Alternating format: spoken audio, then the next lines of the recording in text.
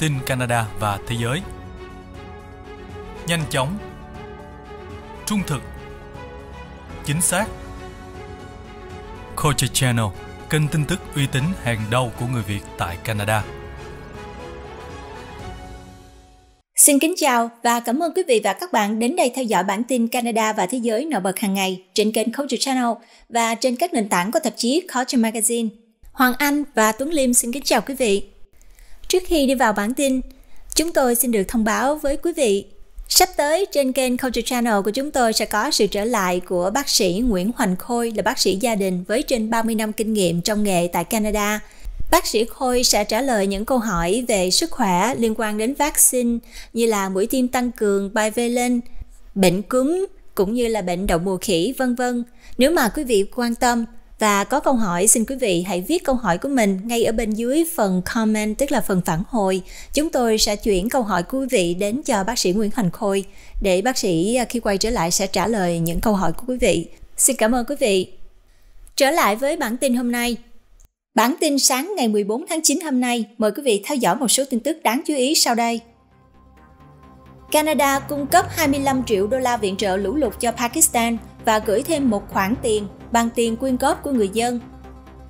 Thủ tướng Trudeau tuyên bố gói hỗ trợ khả năng chi trả 4,5 tỷ đô la về chăm sóc răng miệng, quyền lợi nhà ở và tín dụng thuế GST. Các tỉnh nào sẽ tham gia cùng liên bang có kỳ nghỉ cấp tỉnh để tang nữ hoàng?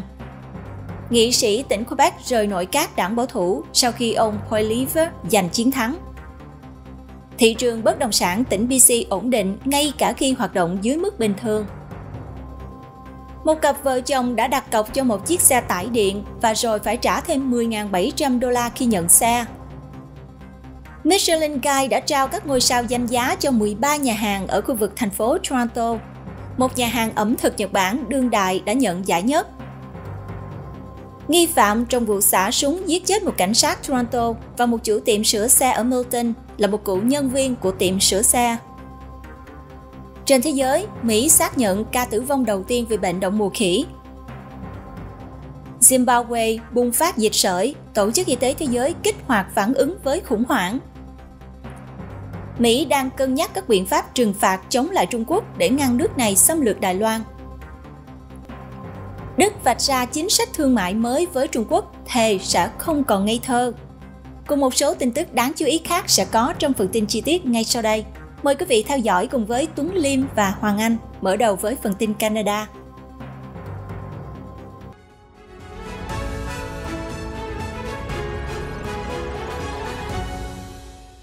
Canada cung cấp 25 triệu đô la viện trợ lũ lụt cho Pakistan và gửi thêm một khoản bằng tiền quyên góp của người dân. Chính phủ liên bang sẽ gửi một khoản bằng với khoản tiền quyên góp với người dân Canada để giúp đỡ cho người dân Pakistan vì họ đang trải qua một trận lũ lụt kinh hoàng dẫn tới tình trạng khẩn cấp nhân đạo. Thủ tướng Justin Trudeau cho biết các khoản quyên góp gửi tới một trong 12 cơ quan viện trợ tạo nên liên minh nhân đạo sẽ được nhân đôi cho đến ngày 28 tháng 9 với số tiền tối đa là 3 triệu đô la. Thực phẩm khẩn cấp, nước và các đồ dùng vệ sinh và các dịch vụ y tế hiện nay là rất cần thiết sau những trận mưa gió mùa trong 3 tháng qua, khiến cho hơn 1 phần 3 diện tích của Pakistan chìm trong nước. Canada sẽ gửi thêm 25 triệu đô la cho Pakistan để ứng phó với lũ lụt và hỗ trợ các dự án phát triển. Bộ trưởng Phát triển Quốc tế là Hajit Sajjan hiện nay đang ở Pakistan để chứng kiến tình hình. Thủ tướng Trudeau đã tuyên bố gói hỗ trợ khả năng chi trả 4,5 tỷ đô la về chăm sóc răng miệng, quyền lợi nhà ở và tín dụng thuế GST. Thủ tướng Trudeau đã công bố các biện pháp mới để giúp người dân Canada đang chật vật với chi phí sinh hoạt ngày càng gia tăng. Một phần trong thỏa thuận của chính phủ ông với đảng Dân Chủ mới nhằm bảo đảm sự ủng hộ của Quốc hội đối với đảng tự do cầm quyền cho đến năm 2025. Đảng Tự do cho biết họ sẽ triển khai giai đoạn đầu tiên của chương trình chăm sóc răng miệng, thúc đẩy tín dụng thuế GST và tăng một lần cho quyền lợi nhà ở Canada. Kế hoạch được công bố hôm thứ Ba sẽ chứng kiến tín dụng thuế GST tăng gấp đôi trong 6 tháng, một động thái mà chính phủ cho biết sẽ ảnh hưởng đến 11 triệu người Canada và các gia đình hiện đang nhận tín dụng thuế. Những người độc thân không có con sẽ nhận được thêm 234 đô la từ khoản tín dụng GST. Còn các cặp vợ chồng có con sẽ nhận được thêm 467 đô la và người cao niên có thể mong đợi mức tăng trung bình là 225 đô la trong năm nay. Đảng Tự do cũng đang tung ra một đợt tăng quyền lợi nhà ở Canada, cung cấp tới 500 đô la đến 1,8 triệu người dân Canada thuê nhà đang gặp khó khăn với nhu cầu nhà ở. Quyền lợi nhà ở Canada được phát triển bởi chính phủ liên bang và các tỉnh ra mắt vào năm 2020 với sự tài trợ chung 4 tỷ đô la trong 8 năm. Chính phủ liên bang cho biết, phúc lợi sẽ dành cho các gia đình có thu nhập ròng đã điều chỉnh dưới 35.000 đô la, hoặc cho những người độc thân có thu nhập dưới 20.000 đô la. Những người này trả ít nhất 30% thu nhập của họ trên tiền thuê nhà. Thủ tướng Trudeau cũng thông báo rằng, chính phủ của ông đang giới thiệu quyền lợi nha khoa Canada cho trẻ em dưới 12 tuổi không được tiếp cận với bảo hiểm nha khoa. Các gia đình có thu nhập thấp và trung bình, với tổng thu nhập dưới 90.000 đô la có thể tiếp cận với 650 đô la mỗi năm trong 2 năm tiếp theo cho các dịch vụ nha khoa. Bước tiếp theo sẽ là mở rộng dịch vụ chăm sóc răng miệng cho người dưới 18 tuổi, người cao tuổi và người khuyết tật vào cuối năm 2023 trước khi thực hiện đầy đủ chương trình vào năm 2025. Ontario sẽ không có kỳ nghỉ cấp tỉnh để tưởng nhớ sự ra đi của nữ hoàng. Người dân Ontario sẽ không được nghỉ lễ cấp tỉnh vào ngày thứ hai để đánh dấu ngày mất của nữ hoàng Elizabeth đệ nhị. Thay vào đó, ngày 19 tháng 9 sẽ được tuyên bố là ngày quốc tang của tỉnh. Văn phòng Thủ tướng cho biết trong một tuyên bố, người dân Ontario có thể quan sát thấy một khoảng khắc mặc niệm lúc 1 giờ chiều vào ngày đó. Điều này sẽ cho tất cả người dân Ontario cơ hội để suy ngẫm về cuộc đời của nữ hoàng Elizabeth đệ nhị và sự cam kết không ngừng của bà đối với việc phục vụ và nghĩa vụ. Ngày đó cũng cho phép học sinh tìm hiểu về nhiều đóng góp của nữ hoàng cho người dân Ontario, Canada và toàn bộ khối thịnh vượng chung cũng như sự kế thừa của vua Charles đệ tam. Văn phòng của Thủ hiến đã khuyến khích người dân Ontario hãy sử dụng ngày này để tri ân những di sản phi thường của nữ hoàng để lại. Thủ tướng Justin Trudeau cho biết, ngày tang lễ của nữ hoàng sẽ được đánh dấu vừa là ngày lễ liên bang, vừa là ngày quốc tang ngày lễ sẽ áp dụng cho nhân viên chính phủ liên bang nhưng mà sẽ không tự động bao gồm các ngành do liên bang quản lý như là ngân hàng và bưu điện. Các công ty có thể làm theo và cho nhân viên nghỉ nhưng mà họ không bắt buộc phải làm như vậy. Để tôn vinh nữ hoàng Elizabeth đệ nhị, chính quyền tỉnh Saskatchewan đã tuyên bố thứ hai ngày 19 tháng 9 là một ngày để tưởng nhớ sự phục vụ của bà Lễ tưởng niệm sẽ được tổ chức vào ngày 19 tháng 9 bắt đầu lúc 7 giờ tối tại nhà thờ Anh giáo Thánh Paul ở Regina. Cờ của tỉnh sẽ vẫn hạ ở nửa cột cho đến khi mặt trời lặn vào thứ hai. Tuy nhiên, tỉnh cho biết ngày 19 tháng 9 không được chỉ định là ngày nghỉ lễ của tỉnh. Tại tỉnh British Columbia, chính phủ sẽ tưởng niệm ngày quốc tang nữ hoàng đóng cửa các trường học trên toàn tỉnh, cho công nhân dịch vụ công nghỉ lễ Thủ hiến John Hogan tuyên bố ngày 19 tháng 9 là ngày tưởng nhớ theo sự chỉ đạo của chính phủ liên bang. Hầu hết các tập đoàn Crown của chính phủ sẽ đóng cửa, cùng với tất cả các trường công lập từ mẫu giáo đến sau trung học. Thủ hiến Hogan cho biết, chính phủ tỉnh BC cũng đang khuyến khích các doanh nghiệp tư nhân tìm cách công nhận ngày này theo cách phù hợp với nhân viên của họ, mặc dù họ không có nghĩa vụ phải làm như vậy. Tỉnh Alberta chưa đưa ra tuyên bố của họ, Trong khi đó, thì các tỉnh bang tại Nova Scotia, New Brunswick và Prince Edward Island sẽ công nhận ngày 19 tháng 9 là ngày lễ và ngày để tang của nữ hoàng Elizabeth đệ nhị. Các văn phòng chính quyền cấp tỉnh và các trường học công sẽ đóng cửa cả 3 ngày ở các tỉnh của Maritime vào ngày thứ hai để phục vụ cho tang lễ của nữ hoàng Elizabeth đệ nhị và ngày nghỉ một lần này sẽ áp dụng cho tất cả người lao động do tỉnh quản lý. Ở Nova Scotia và New Brunswick, ngày nghỉ lễ sẽ tùy chọn đối với các doanh nghiệp tư nhân và người sử dụng lao động. PEI cho biết, thứ hai sẽ được coi như những ngày nghỉ theo luật định khác cho tất cả nhân viên của tỉnh. Chính phủ Nova Scotia cho biết, dịch vụ giữ trẻ theo quy định cũng sẽ đóng cửa, nhưng mà các dịch vụ chăm sóc sức khỏe, các cuộc hẹn và các thủ tục sẽ vẫn hoạt động. Quan tài của nữ hoàng đã đến cung điện Buckingham sau chuyến hành trình cuối cùng từ Scotland. Quan tài đã đi qua hàng chục ngàn người tụ tập dưới mưa để bày tỏ lòng kính trọng cuối cùng của họ.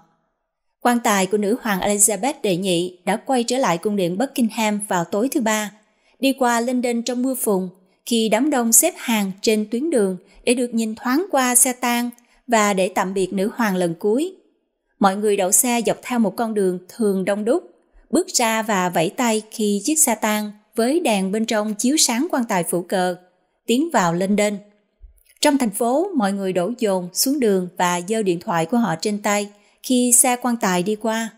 Hàng ngàn người bên ngoài cung điện đã hò reo, hát lên God Save the Queen và vỗ tay khi chiếc xe tang lượn quanh một bùng binh trước dinh thự chính thức của nữ hoàng ở London và qua những cánh cổng sắt rèn. Con trai của bà, vua Charles đệ Tam và các thành viên khác trong gia đình đã đợi bên trong. Chiếc quan tài đến London từ Edinburgh nơi 33.000 người đã lặng lẽ đi qua chào biệt trong 24 giờ qua tại nhà thờ St. Giles. Thủ tướng Anh Liz Truss, Bộ trưởng Quốc phòng Ben Wallace và một người bảo vệ danh dự quân đội là những người có mặt đón quan tài nữ hoàng. Một người đứng dưới mưa chờ xe tăng đi qua là tài xế xe bus đã nghỉ hưu David Stringer, 82 tuổi, nhớ lại đã xem lễ đăng quang của nữ hoàng khi còn là một cậu bé. Vua Charles đã trở về London từ Bắc Ireland nơi chuyến thăm của ông đã thu hút một khoảnh khắc đoàn kết hiếm hoi giữa các chính trị gia trong một khu vực có bản sắc Anh và Ireland đang tranh chấp, vốn đang bị chia rẽ sâu sắc về chế độ quân chủ. Ông cùng vương hậu Camilla đã được chào đón bởi đám đông, những tiếng hò reo God Save the King. Nhà vua mới sẽ thực hiện chuyến hành trình của riêng mình trong tuần này đến thăm bốn quốc gia của Vương quốc Anh là Anh, Scotland, Wales và Bắc Ireland. Trong cuộc bầu cử chức lãnh đạo của đảng bảo thủ, nghị sĩ Quebec Alan Reyes cho biết ông sẽ rời khỏi nội các của đảng bảo thủ và sẽ hoạt động với tư cách là một nghị sĩ độc lập tại Hạ viện, sau khi ông Pierre Poilievre được chỉ định là nhà lãnh đạo mới của đảng. Trong một tuyên bố, ông Reyes, người ủng hộ ông Jean Charest trong cuộc đua lãnh đạo, nói rằng mặc dù ông tôn trọng quyết định của các thành viên, nhưng một số lý tưởng, giá trị và niềm tin chính trị của ông không đồng nhất với hướng đi mới Ông Reyes đã viết thư cho Chủ tịch Hạ viện vào thứ Ba để thông báo về lựa chọn hoạt động độc lập, một động thái mà sẽ dẫn tới một sự sắp xếp chỗ ngồi mới trong buồng Hạ viện. Trong suốt chiến dịch kéo dài 7 tháng, ông Reyes nằm trong số 20 thành viên nội các của đảng bảo thủ ủng hộ ông Charest, người đã về sau ông Polif trong cuộc bỏ phiếu vừa rồi. Phản ứng về sự việc này, ông Polif tuyên bố rằng ông Reyes đã chọn không chống lại Thủ tướng Justin Trudeau và các chính sách kinh tế của ông. Ông Poliver cho biết tất cả những người thuộc đảng bảo thủ ủng hộ ông đều đồng ý rằng chống lạm phát nên là trọng tâm của đảng. Trên thị trường bất động sản, tỉnh BC vẫn ổn định ngay cả khi hoạt động dưới mức bình thường. Thị trường nhà ở của tỉnh BC đang có dấu hiệu ổn định, mặc dù hoạt động chậm hơn bình thường. Hiệp hội Bất động sản tỉnh BC đã công bố báo cáo mới nhất hôm thứ Ba cho thấy Doanh số bán nhà đã giảm 40% vào tháng trước so với tháng 8 năm 2021. Hoạt động nhà ở trên toàn tỉnh vẫn ở mức dưới mức bình thường, nhưng đang có dấu hiệu ổn định trở lại. Theo nhà kinh tế trưởng của Hiệp hội Bất động sản tỉnh BC cho biết, trong khi hàng tồn kho đã tăng trong năm qua, danh sách nhà được rao bán đã phần nào bị đình trệ ở mức tương đối thấp ở hầu hết các thị trường chính. Và kết quả là chúng tôi đang thấy sự cân bằng tốt hơn so với năm ngoái. Hiệp hội cho biết, Giá trung bình cho các ngôi nhà ở tỉnh BC trong tháng 8 là hơn 918.000 đô la một chiếc. Điều đó đánh dấu mức tăng 2,1% so với mức trung bình chỉ hơn 899.000 đô la của tháng 8 năm 2021. Không có gì ngạc nhiên khi giá nhà cao nhất ở khu vực Greater Vancouver trung bình gần 1,2 triệu đô la. Victoria và Fraser Valley có mức trung bình tương đương nhau vào khoảng 980.000 đô la. Khu vực có giá thấp nhất trong tháng trước là South Peace River nơi có giá nhà trung bình chỉ dưới 279.000 đô la. Khu vực duy nhất ở tỉnh BC có sự gia tăng doanh số bán hàng trong tháng trước so với năm trước đó là Powell River. Ở tỉnh Quebec, các thị trấn của Quebec muốn các ngành công nghiệp phải trả nhiều tiền nước hơn. Mỗi tuần một lần, công nhân thành phố ở thị trấn Saint-Lazare, phía tây Montreal, điều chỉnh mũi tên trên các biển báo cho biết mức độ tiêu thụ nước. Trong hầu hết mùa hè này, mũi tên đó đã chỉ vào mức cao. Mục đích của các biển báo được dán xung quanh thành phố là khuyến khích người dân sử dụng ít nước hơn. Thị trưởng thành phố cho biết, trong vài năm qua, chúng tôi đã phải tuân theo lệnh cấm tưới nước hoàn toàn, chủ yếu do hạn hán xảy ra và cũng do COVID-19, khi rất nhiều người ở nhà và sử dụng nhiều nước hơn bình thường. Thị trấn Saint-Lazare là một phần của đô thị hạt trong vùng MRC của Vaudreuil-Solange vùng mà mùa hè này đã thông qua một đề nghị kêu gọi chính phủ Quebec tiết lộ dữ liệu về tiêu thụ nước ngầm. Vùng MRC lập luận rằng họ cần thêm thông tin về lượng nước đang được sử dụng bởi các ngành công nghiệp và lượng nước hiện có để bảo đảm sự phát triển bền vững ở một trong những khu vực phát triển nhanh nhất trong tỉnh. Quebec có 3% lượng nước ngọt trên thế giới, nhưng các thành phố trực thuộc trung ương ở phía nam của tỉnh đang ngày càng lo ngại về nguồn cung. Ở giai đoạn đầu của chiến dịch bầu cử, Đảng Tự do Quebec có kế hoạch nền tảng chi tiết nhất về nước, bao gồm cam kết tăng tiền bản quyền sử dụng nước công nghiệp lên gấp 6 lần so với hiện tại. Trong những ngày cuối cùng của kỳ họp lập pháp vào tháng 6 năm ngoái, đảng CAQ đã lập một dự luật mà sẽ tăng mức phí chính phủ cho những người sử dụng nước thương mại. Vào đầu tháng, đảng này cho biết họ sẽ sử dụng nguồn thu mới để bảo vệ nguồn cung cấp nước của tỉnh. Như hiện tại, tỉnh này tính phí các nhà máy giấy và bột giấy, mỏ và lò luyện nhôm 2,50 đô la mỗi triệu lít. Đó là các cơ sở phụ thuộc vào lượng nước khổng lồ.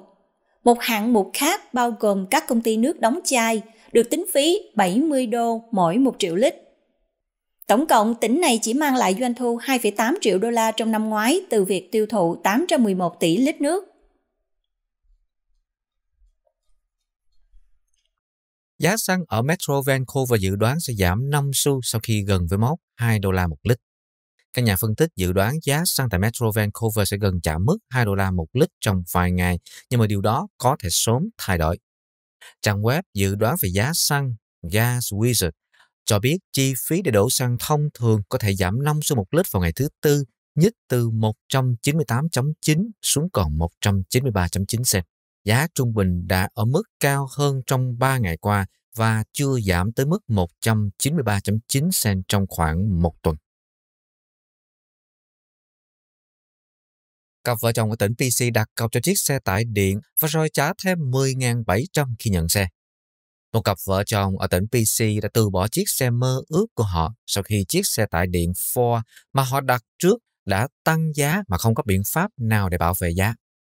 Ông Bin và vợ là Melanie đã đặt mục tiêu sở hữu một chiếc xe tải Ford F150 Lightning đời mới năm 2022.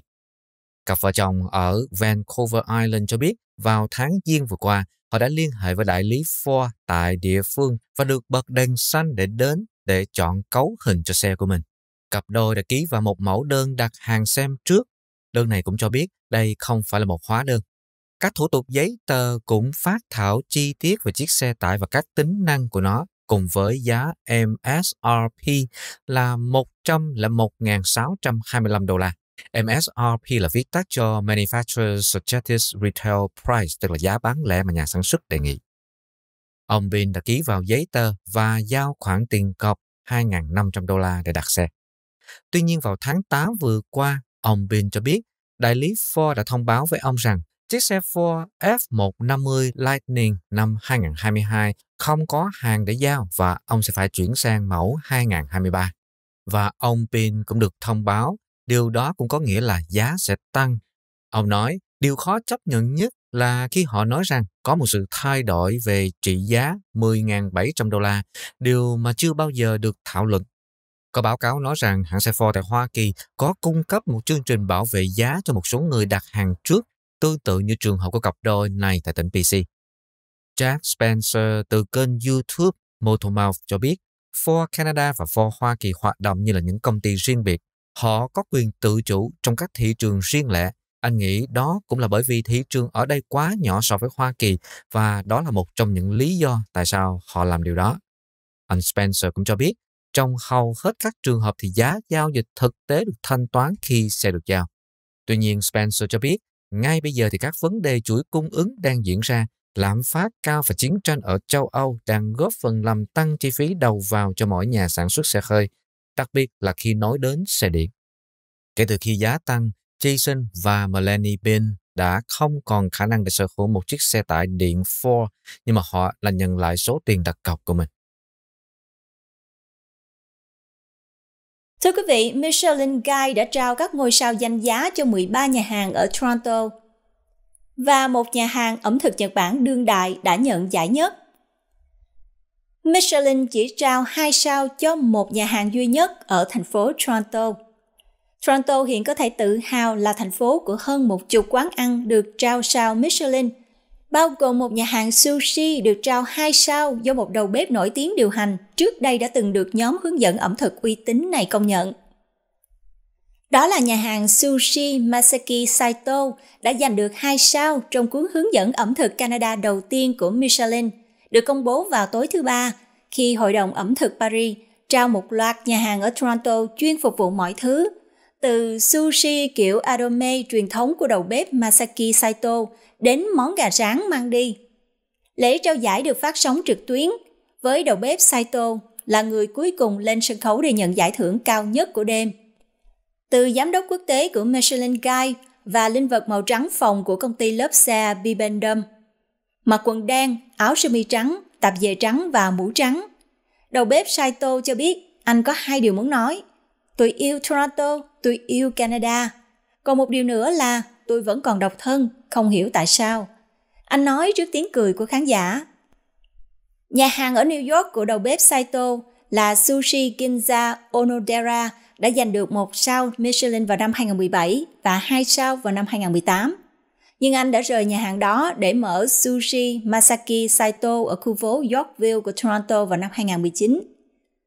Trong trích dẫn của họ, các thanh tra ẩn danh ca ngợi nhà hàng này mới nhất của Saito đã cung cấp cá và cơm nigiri từ Nhật Bản và một sự pha trộn đặc biệt của giấm, cùng những lời khen ngợi cho nhà hàng này, nơi có bữa tối omakase dinner có giá là 680 đô la một người. Có 12 nhà hàng khác ở Toronto giành được một sao Michelin. 12 nhà hàng khác giành được một sao Michelin, trong đó có 4 nhà hàng chuyên về ẩm thực Nhật Bản. Bao gồm Aburi Hana, Kaiseki Yuzen Hashimoto, Shushin và Yukashi. Bốn quán ăn đương đại cũng có một ngôi sao bao gồm Alo, Enigma Yorkville, Aduli và Freelu, cùng với Alo Bar Yorkville, nhà hàng Mexico Quetzal và nhà hàng Ý Don Alfonso 1890 Toronto và Osteria Giulia. Danh sách 3 sao tương đối hiếm trong danh sách toàn cầu. Trong số 16.120 nhà hàng thì chỉ có 137 nhà hàng đạt tiêu chuẩn cao nhất. Trong đó Tokyo có nhiều danh hiệu 3 sao nhất với 12 nhà hàng. Hệ thống trao giải lâu đời này của Paris trao một sao cho các nhà hàng được coi là rất tốt trong hạng mục của họ, trong khi hai sao cho các cơ sở có ẩm thực xuất sắc, còn ba sao là cho nhà hàng nổi bật, khả năng nấu ăn đặc biệt xứng đáng cho một chuyến đi đến đặc biệt. Và có 17 nhà hàng giành được danh hiệu Bib Gourmet, Ngoài ra thì 17 nhà hàng cũng giành được danh hiệu Bib Gourmet, xứng đáng công nhận chất lượng tuyệt vời giữa các nhà hàng cung cấp hai món ăn và một ly rượu vang hoặc là một món tráng miệng với giá dưới 60 đô la.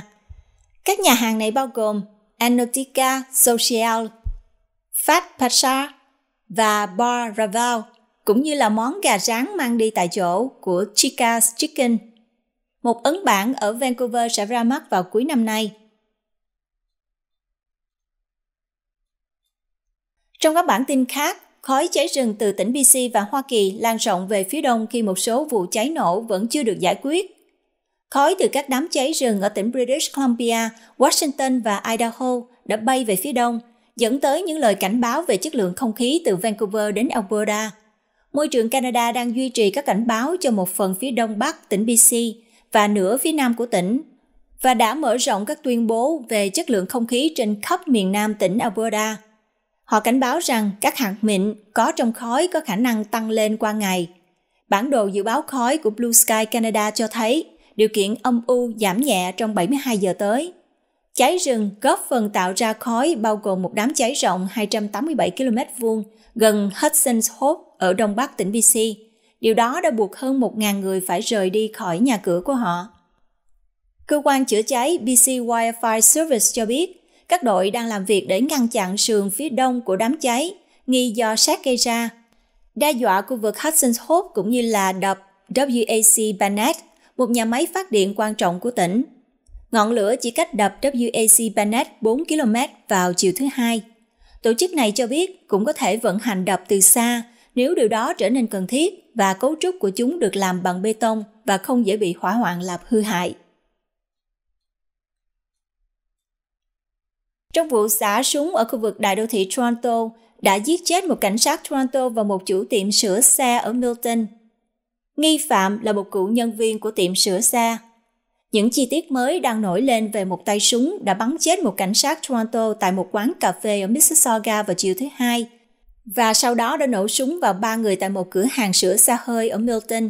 Chưa đầy một giờ sau đó, giết chết một người là chủ của tiệm sửa xe Vụ nổ súng ở Milton diễn ra vào khoảng 2 giờ 50 chiều sau khi đã có báo cáo nghi phạm đã giết chết cảnh sát Toronto là Constable Andrew Hong trong cái mà các nhà chức trách đã mô tả là một cuộc tấn công theo kiểu phục kích vô cớ bên trong Tim Hortons. Cho đến nay vẫn chưa rõ động cơ của vụ cuồng sát, nhưng CTV News đã nói chuyện với một người em họ của nạn nhân Milton, Shakil Ashraf, người xác nhận rằng nghi phạm là một cựu nhân viên tại tiệm sửa xe Tiệm thuộc sở hữu của nạn nhân Shakil Ashraf có tên là MK Auto Repairs. Người em họ Aslan Hanif nói, tôi chỉ không thể thấy động cơ là gì, đặc biệt là đối với một người như Shakil. Anh ấy đã đóng góp cho cộng đồng, anh ấy đã dành thời gian của mình để quyên góp cho các tổ chức từ thiện, anh ấy là một viên ngọc quý. Hanef kể rằng anh họ của anh lúc đó ra ngoài ăn trưa khi nghi phạm lần đầu tiên đến tiệm sửa xe hỏi về Shakil đang ở đâu và quanh quẩn trong tiệm cho đến khi Shakil trở về. Cảnh sát cho biết có tổng cộng 3 người cuối cùng đã bị bắn bên trong tiệm sửa xe. Shakil Ashraf, 38 tuổi, được cho là đã chết ngay tại hiện trường, trong khi hai người khác được đưa đến bệnh viện với những vết thương nặng và nguy kịch. Nghi phạm đã bỏ trốn khỏi hiện trường nhưng cuối cùng đã bị cảnh sát Horton bắn chết ở khu vực thành phố Hamilton vài giờ sau đó. Cảnh sát đã tiết lộ thông tin chi tiết hạn chế về các tình huống xung quanh vụ xả súng cho đến nay. Các nguồn tin cảnh sát cho biết, trước đó vào thứ Ba, sĩ quan Andrew Hong đang ngồi trên bàn ăn bữa trưa bên trong Tim Hortons sau khi tham gia một bài tập huấn luyện với một số sĩ quan xe mô tô khác khi anh ta bị phục kích ở phạm vi rất gần. Các nguồn tin cũng nói rằng nghi phạm đã cố gắng lấy khẩu súng của sĩ quan Hồng từ bao da sau khi nổ súng nhưng không thể do có khóa an toàn. Cuối cùng, hắn ta đã bỏ trốn khỏi hiện trường trong một chiếc xe bị đánh cắp và xuất hiện tại tiệm sửa xe hơi ở Milton. Cảnh sát cũng nói rằng một nạn nhân vô tội thứ hai bị thương do đạn bắn làm thay đổi cuộc sống do hậu quả của vụ ở Mississauga. Không rõ cá nhân đó bị thương như thế nào. Sĩ quan Andrew Hong là một cựu chiến binh 22 năm của lực lượng này, cũng là một người cha đã có gia đình của hai đứa trẻ. Anh được bạn bè và đồng nghiệp nhớ đến như một người khổng lồ hiền lành, người có lòng cao cả hơn cuộc đời. Còn nạn nhân ở Milton là Shakil Ashraf, là một người cha 38 tuổi, người chồng và một thành viên của cộng đồng Hồi giáo. Một người đã tìm thấy một con ếch trong một hộp salad ở chợ ở Ontario. Một phụ nữ tỉnh Ontario đã tìm thấy một con ếch trưởng thành trong một hộp rau salad mà cô ấy lấy từ kệ tại cửa hàng tạp hóa địa phương. Rất may là con ếch vẫn sống dù đang ở trong một thùng kính gồm các loại rau xanh của hãng Compliments tại một siêu thị Sobeys ở London, tỉnh Ontario. Khi nhìn thấy sinh vật, khách hàng đã nhanh chóng lấy điện thoại của mình ra để quay một video. Và đoạn clip ngắn đã thu về hơn 350.000 lượt xem và 32.000 lượt thích trên TikTok chỉ trong 2 ngày, với hàng tấn người bình luận vì sốc, hoang mang, không biết sao con vật lưỡng cư lại rơi vào tình huống như vậy. Nhiều người cũng thắc mắc về số phận của con vật và người khách cũng đã nhanh chóng cập nhật. Cô ấy đã mang chiếc hộp tới quầy thanh toán và nói với nhân viên, những người này cũng rất lo lắng. Họ đã mang con ếch cho người quản lý, nói là nộp báo cáo và thả nó vào một cái ao gần đó. Nhưng theo những bình luận sau đó, con ếch không được thực sự thả mà đã được người quản lý giữ lại như một con vật cưng trong bể cá. Nhiều người cũng lưu ý rằng, ngay cả khi con vật này đã được thả tự do vào tự nhiên, nó là một con ếch báo phương Bắc, có nguồn gốc từ Canada và Hoa Kỳ và rất phổ biến ở Ontario. Trong khi nhiều người thắc mắc Làm thế nào mà sinh vật ngụy trang tốt này lại lọt qua vòng đúng ra là đã được rửa kỹ lưỡng các loại rau ăn sẵn này? Thì một số người khác lại ghi nhận nhiều câu chuyện về những người tìm thấy dung và nhiều thứ khác trong các sản phẩm như vậy. Ngoài ra, thực tế là người bạn nhỏ này có thể dễ dàng sống sót sau một quá trình như vậy. Con ếch trông khá sạch sẽ, một người đã chia sẻ.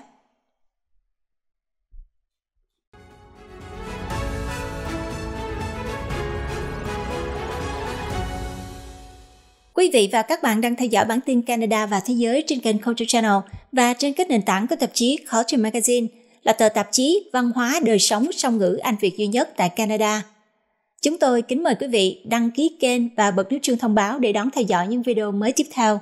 Để ủng hộ cho chương trình, rất mong quý vị nhấn nút like, chia sẻ phản hồi và chia sẻ, share video để giúp phổ biến thông tin. Rất cảm ơn quý vị và các bạn. Tiếp theo trong bản tin, mời quý vị theo dõi một số tin tức trên thế giới đáng chú ý sau đây. Điện Kremlin cho biết Tổng thống Putin và ông tập của Trung Quốc sẽ gặp nhau ở Trung Á trong tuần này. Mỹ xác nhận ca tử vong đầu tiên vì bệnh đậu mùa khỉ. Zimbabwe bùng phát dịch sởi, Tổ chức Y tế Thế giới kích hoạt phản ứng với khủng hoảng. Mỹ đang cân nhắc các biện pháp trừng phạt chống lại Trung Quốc để ngăn nước này xâm lược Đài Loan. Đức vạch ra chính sách thương mại mới với Trung Quốc, thề sẽ không còn ngây thơ. Giá phòng khách sạn và giá vé máy bay đến London tăng vọt trước đám tang của nữ hoàng Anh. Úc sẽ hứng chịu nhiều trận mưa bất thường trong những tháng tới do hiện tượng La Nina. Tổ chức Y tế Thế giới cho biết 17 triệu người ở khối châu Âu có thể đã bị COVID-19 kéo dài. Việt Nam họp về tham gia Army Games 2023, báo Nga vui mừng. Cùng một số tin tức đáng chú ý khác sẽ có trong bản tin hôm nay. Mời quý vị tiếp tục theo dõi cùng với Tuấn Liêm và Hoàng Anh.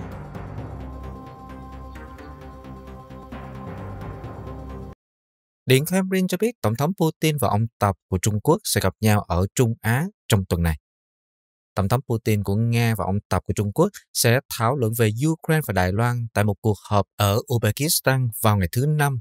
Cuộc gặp mà Điện Kremlin cho rằng sẽ có ý nghĩa đặc biệt đối với tình hình địa chính trị. Phụ tá của Điện Kremlin Yuri Yushakov cho biết tại một cuộc giao ban ở Moscow rằng các nhà lãnh đạo sẽ thảo luận về cả chương trình nghị sự song phương và các chủ đề chính của khu vực và quốc tế. Mối quan hệ đối tác ngày càng sâu sắc và không có giới hạn giữa siêu cường đang lên là Trung Quốc và người khổng lồ tài nguyên thiên nhiên là Nga là một sự phát triển địa chính trị mà phương Tây đang theo dõi với sự lo lắng. Cuộc gặp sẽ tạo cơ hội cho ông Tập nhấn mạnh tầm ảnh hưởng trong khi ông Putin có thể chứng minh sự nghiêng về phía châu Á của Nga. Cả hai nhà lãnh đạo có thể thể hiện sự phản đối của họ đối với Mỹ giống như cách mà phương Tây tìm cách trừng phạt Nga vì hoạt động quân sự đặc biệt ở Ukraine. Trung Quốc là khách hàng mua dầu lớn nhất của Nga, một trong những nguồn thu chính cho kho bạc nhà nước của Moscow. Nga cũng đang nỗ lực thúc đẩy việc bán khí đốt của mình cho Trung Quốc và xây dựng các đường ống mới cho nước này vì nguồn cung khí đốt của Nga cho châu Âu đã bị cắt giảm đáng kể trong bối cảnh chiến tranh với Ukraine. Cuộc gặp giữa ông Tập và ông Putin tại Uzbekistan sẽ diễn ra ở bên lề của hội nghị thượng đỉnh của Tổ chức Hợp tác Thượng Hải được tổ chức tại thành phố Samarkand cổ kính của con đường tơ lụa ở Uzbekistan. Mỹ xác nhận ca tử vong đầu tiên vì bệnh đậu mùa khỉ. Một người dân ở quận Los Angeles có hệ thống miễn dịch bị tổn hại đã chết vì bệnh đậu mùa khỉ, các quan chức y tế địa phương thông báo hôm thứ Hai. Đây được coi là trường hợp tử vong đầu tiên ở Mỹ do căn bệnh này. Sở Y tế công cộng quận Los Angeles đã công bố nguyên nhân cái chết và một phát ngôn viên đã cho biết điều này đã được xác nhận qua khám nghiệm tử thi. Bệnh nhân bị suy giảm miễn dịch nghiêm trọng và phải nhập viện. Không có thông tin nào khác về người này được tiết lộ. Trung tâm Kiểm soát và Phòng ngừa Dịch bệnh CDC tại Hoa Kỳ đã theo dõi các trường hợp và chưa xác nhận bất kỳ trường hợp tử vong nào ở Mỹ vì căn bệnh này. Trước đó, vào ngày 30 tháng 8, các quan chức y tế công cộng tại Texas đã thông báo về cái chết của một người được chẩn đoán mắc bệnh đậu mùa khỉ. Người này đã bị suy giảm miễn dịch nghiêm trọng, tuy nhiên tiểu bang vẫn đang tiến hành điều tra để xác định vai trò của bệnh đậu mùa khỉ trong việc gây ra ca tử vong này. Bệnh đậu mùa khỉ lây lan qua tiếp xúc da, kề da và tiếp xúc lâu dài với các giọt bắn từ đường hô hấp. Nó có thể gây phát ban, sốt, đau nhức cơ thể và ớn lạnh. Có tương đối ít số người cần nhập viện và chỉ một số ít trường hợp tử vong trên toàn thế giới có liên quan trực tiếp tới căn bệnh này. Hoa Kỳ hiện nay có nhiều trường hợp mắc bệnh đậu mùa khỉ nhất trên toàn cầu, với 21.985 trường hợp được xác nhận. California đã ghi nhận nhiều trường hợp nhất trên cả nước, với hơn 4.300 trường hợp được báo cáo. Zimbabwe bùng phát dịch sởi và Tổ chức Y tế Thế giới kích hoạt phản ứng với cuộc khủng hoảng này. Tổ chức Y tế Thế giới đã kích hoạt chiến lược ứng phó khẩn cấp ở Zimbabwe để đối phó với đợt bùng phát dịch sởi mới nhất ở quốc gia Nam Phi này. Nhân sự sẽ được tăng lên như là một phần của chiến lược, trong đó bao gồm việc tiêm chủng cho ít nhất 700.000 trẻ em. Theo WHO, có hơn 100 trường hợp khẩn cấp về sức khỏe cộng đồng trên toàn cầu mỗi năm và châu Phi được báo cáo là nơi có gánh nặng nhất. Cơ quan y tế toàn cầu vào tháng 6 đã thông báo rằng họ đã hỗ trợ các quốc gia trong khu vực châu Phi để tăng cường các đội y tế khẩn cấp của họ. WHO ở châu Phi cho biết, ba sáng kiến hàng đầu đã được đưa ra về vấn đề này để bảo đảm rằng các quốc gia thành viên không còn bị bất ngờ trước những đợt bùng phát dịch bệnh như đã được chứng kiến ở Zimbabwe. Mỹ đang cân nhắc các biện pháp trừng phạt chống lại Trung Quốc để ngăn nước này xâm lược Đài Loan. Mỹ được cho là đang xem xét các lựa chọn cho một gói trừng phạt chống lại Trung Quốc để ngăn chặn nước này xâm lược Đài Loan, trong khi Liên minh châu Âu đang chịu áp lực ngoại giao từ Đài Bắc để làm điều tương tự. Theo các nguồn tin quen thuộc với các cuộc thảo luận cho biết, các cuộc thảo luận về vận động hành lang riêng biệt của Washington và Đài Bắc đối với các đặc phái viên khối châu Âu đều đang ở giai đoạn đầu. Một phản ứng trước lo ngại về một cuộc xâm lược của Trung Quốc đã gia tăng khi căng thẳng quân sự leo thang ở eo biển Đài Loan.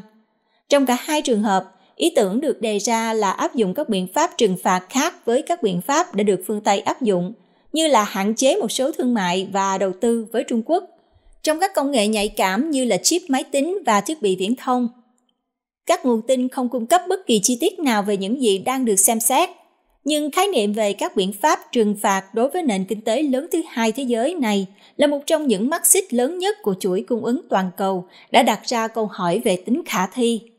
Tại Washington, các quan chức đang xem xét các lựa chọn về một gói trừng phạt có thể chống lại Trung Quốc để ngăn cản ông Tập cố gắng xâm lược Đài Loan. Một quan chức Mỹ và một quan chức từ một quốc gia phối hợp chặt chẽ với Washington cho biết. Hai nguồn tin cho biết, các cuộc đàm phán về các lệnh trừng phạt của Mỹ đã bắt đầu sau khi Nga xâm lược Ukraine vào tháng 2, nhưng nó đã trở nên khẩn cấp hơn sau phản ứng của Trung Quốc đối với chuyến thăm của Chủ tịch Hạ viện Mỹ Nancy Pelosi. Trong khi đó, các quan chức khối châu Âu cho đến nay vẫn né tránh việc áp đặt các biện pháp trừng phạt cứng rắn đối với Trung Quốc về vấn đề nhân quyền, vì nước này đóng một vai trò lớn hơn nhiều đối với nền kinh tế của khối hơn là Nga một quan chức khác quen thuộc với vấn đề này cho biết. Các biện pháp trừng phạt của châu Âu sẽ yêu cầu tất cả 27 nước thành viên đồng ý. Điều này thường khó nắm bắt. Sự đồng thuận là khó khăn ngay cả trong việc cô lập Nga sau cuộc xâm lược Ukraine, một phần là vì khí đốt của nước này rất quan trọng đối với Đức. Chính phủ Đức cũng đang ngày càng lo ngại về sự phụ thuộc kinh tế của họ vào Trung Quốc và đã có động thái mới trong hôm thứ Ba.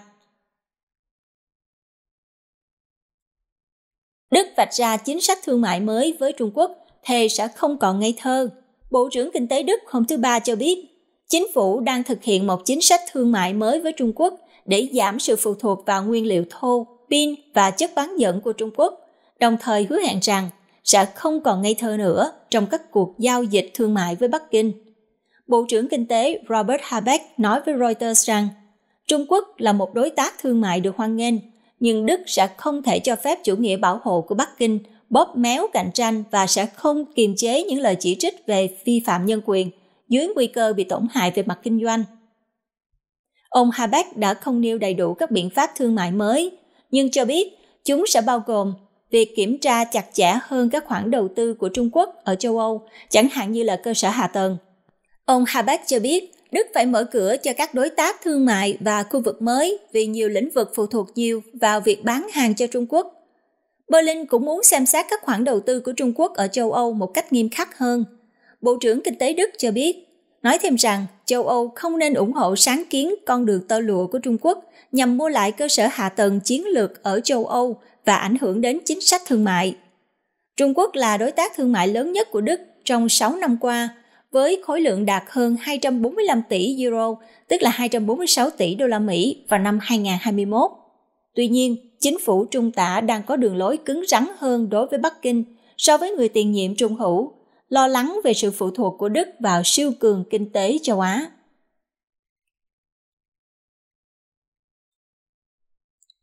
Giá phòng khách sạn và giá vé máy bay đến London tăng vọt trước đám tang của nữ hoàng Anh. Giá phòng khách sạn ở London và giá vé máy bay đến thủ đô của Anh đang tăng vọt khi hàng trăm ngàn người đang đổ xô đến đó trước đám tang của nữ hoàng Elizabeth diễn ra vào thứ Hai. Theo Halliburton, nhà kinh tế hàng đầu của công ty khởi nghiệp du lịch Hopper cho biết, kể từ khi có thông báo rằng nữ hoàng đã tạ thế, giá trung bình cho một khách sạn ở London đã tăng lên 384 đô la Mỹ một đêm, từ 244 đô la Mỹ một đêm. Các khách sạn cao cấp như là Claridge, Connaught, The Dorchester và Berkeley ở khu Mayfair sang trọng đã hết sạch phòng vào tối Chủ nhật.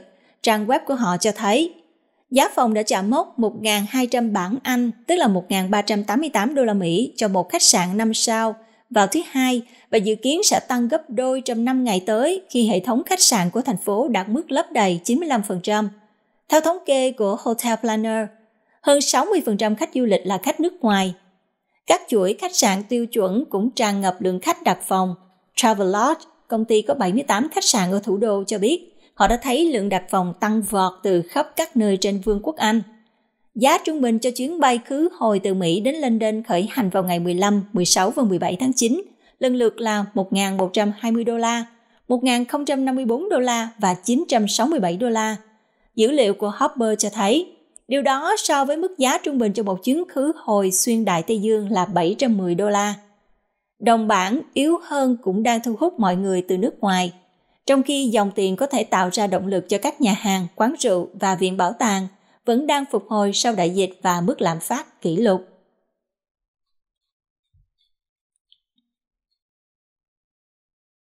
Bản tin từ Ấn Độ cho biết hỏa hoạn tại phòng trưng bày xe điện khiến cho 8 người thiệt mạng.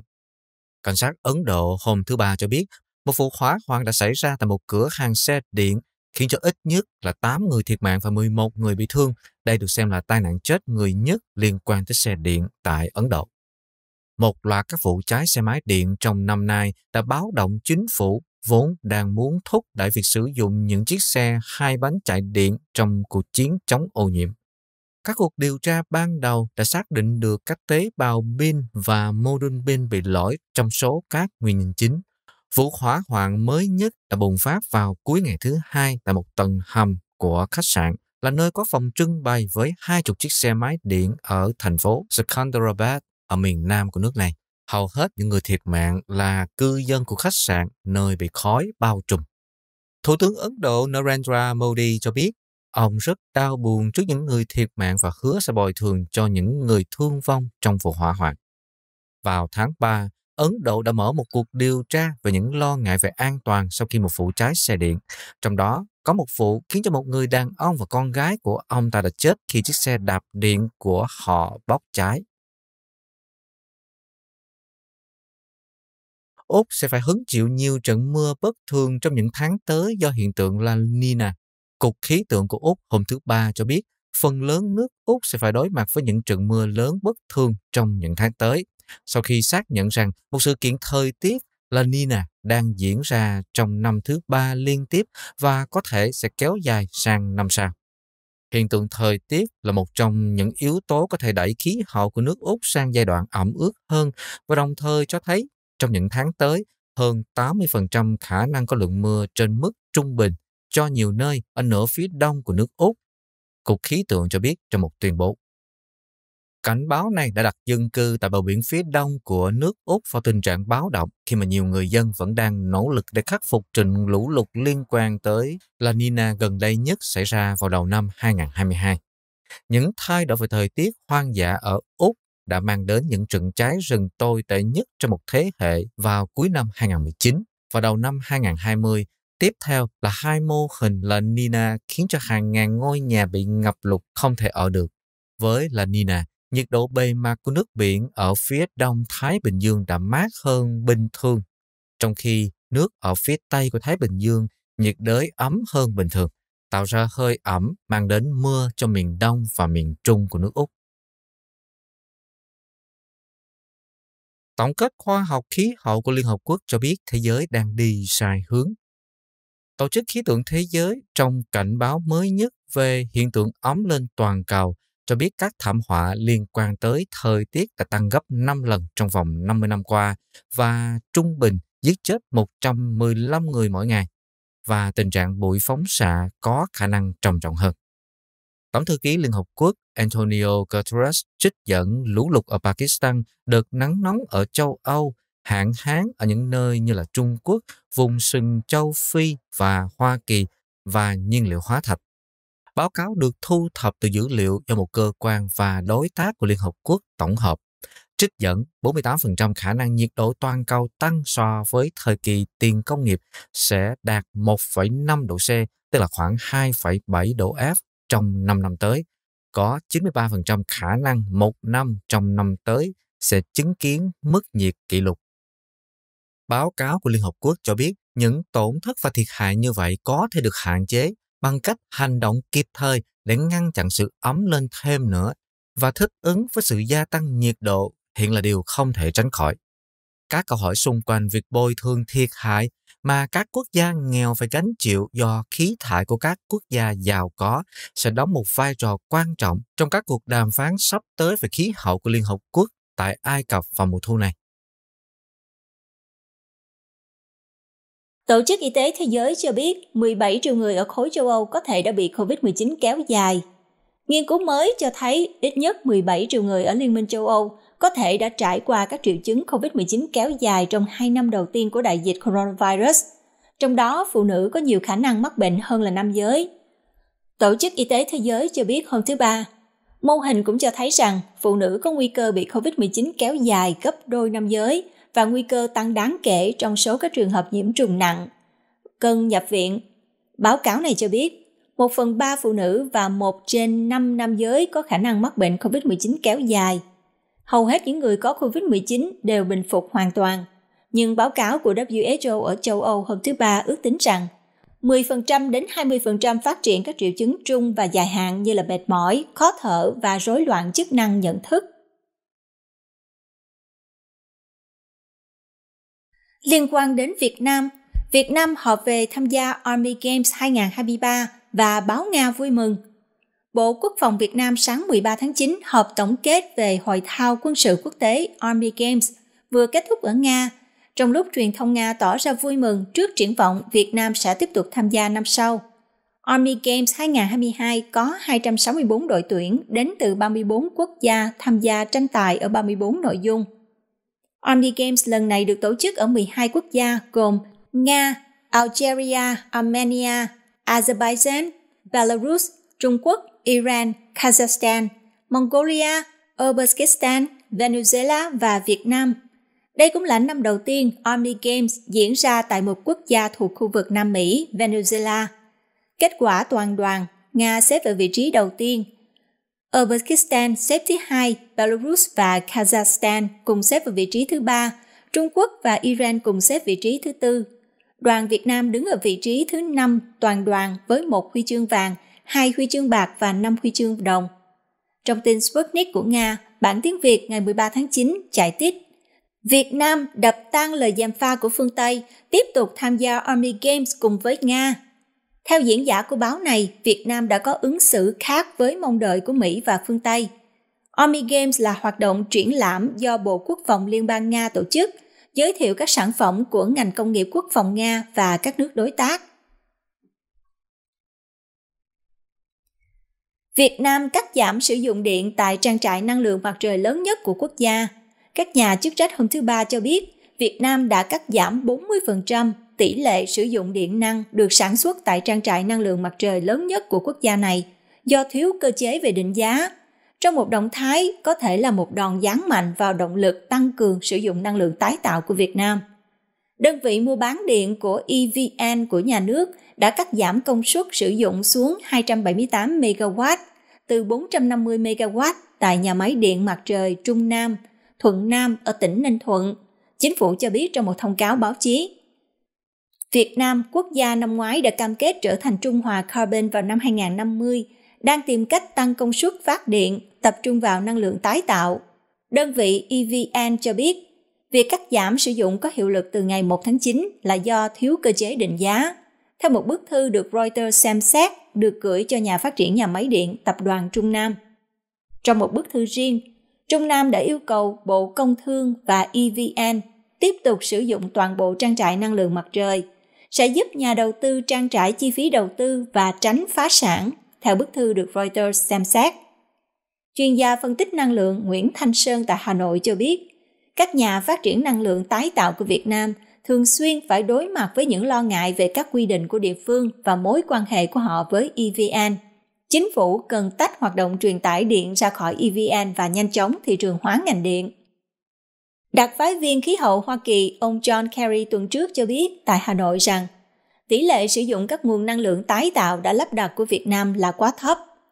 Vào tháng 3, EVN đã kêu gọi mọi người tiết kiệm năng lượng khi họ cảnh báo tình trạng thiếu điện do nguồn cung than khan hiếm. Sau đây là cập nhật tỷ giá, giá dầu và giá vàng. Mở phiên giao dịch vào sáng nay, một Canada bằng 0,7628 đô la Mỹ và bằng 0,7617 đồng euro. Một Canada thì bằng 17.860 đồng Việt Nam, một đô la Mỹ bằng 23.528 đồng Việt Nam. Giá dầu thô WTI là 87,56 đô la Mỹ một thùng. Giá dầu thô Brent là 93,17 đô la Mỹ một thùng. Giá vàng là 1.703 đô la Mỹ một ounce. Phần tỷ giá cũng đã kết thúc bản tin sáng ngày 14 tháng 9 hôm nay. Rất cảm ơn quý vị và các bạn đã dành thời gian theo dõi bản tin. Kênh Culture Channel có video tin tức Canada và thế giới cập nhật hàng ngày gửi đến quý vị hai lần một ngày. Và cũng có các video về văn hóa đời sống, cũng như là chuỗi video tư vấn về di dân di trú được cập nhật bên kênh mới của Culture đó là Coming to Canada. Kính mời quý vị đón theo dõi. Và nếu quý vị có câu hỏi về sức khỏe liên quan đến vaccine, cũng như là mũi tiêm tăng cường, bài bivalent hay là bệnh cúm, bệnh đậu mùa khỉ, vân vân. Mời quý vị hãy viết câu hỏi của quý vị ở dưới phần comment tức là phần phản hồi ở bên dưới để chúng tôi có thể chuyển cho bác sĩ Nguyễn Hoành Khôi. Xin kính chúc quý vị và các bạn một ngày mới an lành cũng như là nhiều năng lượng. Hoàng Anh, Tuấn Liêm xin chào tạm biệt và hẹn gặp lại quý vị trong những bản tin tiếp theo.